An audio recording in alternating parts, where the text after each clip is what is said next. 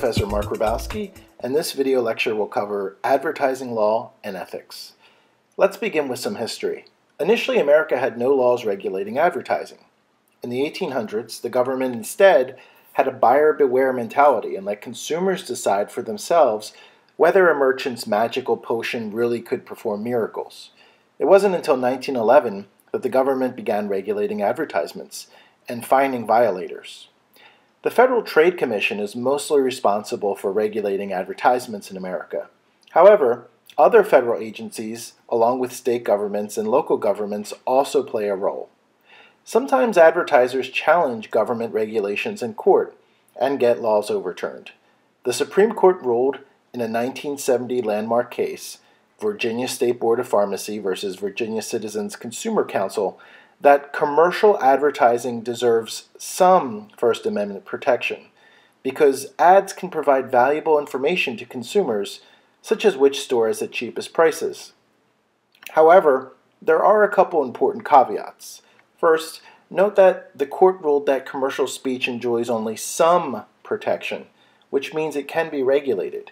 Second, political advertisements are given a much greater amount of freedom than other types of ads because they're considered to be a form of political speech, which the Supreme Court has ruled deserves strong protection. So, what type of advertisements in general are legal?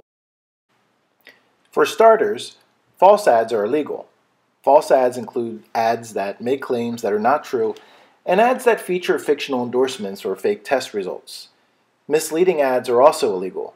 Misleading ads are different than false ads. They're ads that leave out important information or are otherwise misleading.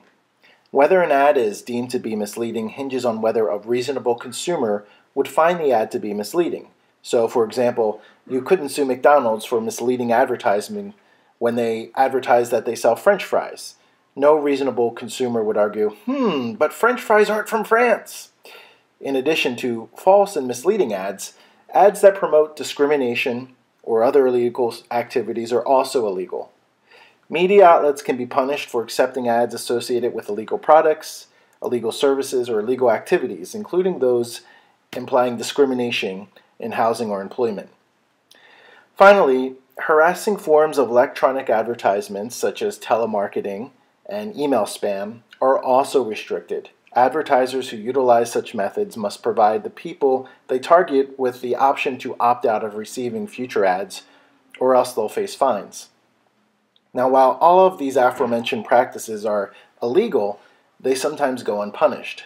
That's because the FTC is extremely overworked and understaffed, so they have to focus on the biggest, most serious offenses. Now let's cover controversial advertising practices that are actually legal. Advertisements aimed at children are not illegal per se, but they are subject to much more regulation than ads aimed at adults. In addition, controversial ads are okay. As long as the product or service being advertised is legal, it's allowed. However, the government may impose time, place, and manner restrictions on such advertisements.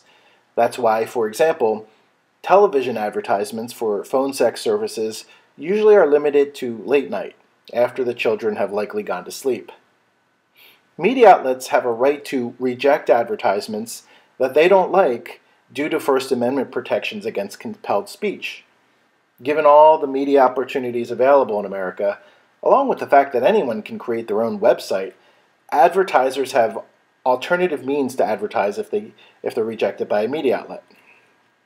Finally, the media is not legally responsible for libelous or distasteful content in political advertisements. Courts have ruled that advertisers would be unreasonably burdened if they had to verify facts of every political ad during election season. Now, as you can see on the screen, some advertisers have run offensive ads for products and services that use tactics such as manipulation, sexism, gender ob- objectification, racial stereotyping, and other tasteless tactics. Of course, just because the media can legally run controversial advertisements doesn't mean that they should. This is where advertising ethics comes in. Advertisers shouldn't just try to make money by serving the interests of clients who pay for their work, but they should also have an ethical duty to respect and uphold the rights and interests of their audiences and to serve the common good.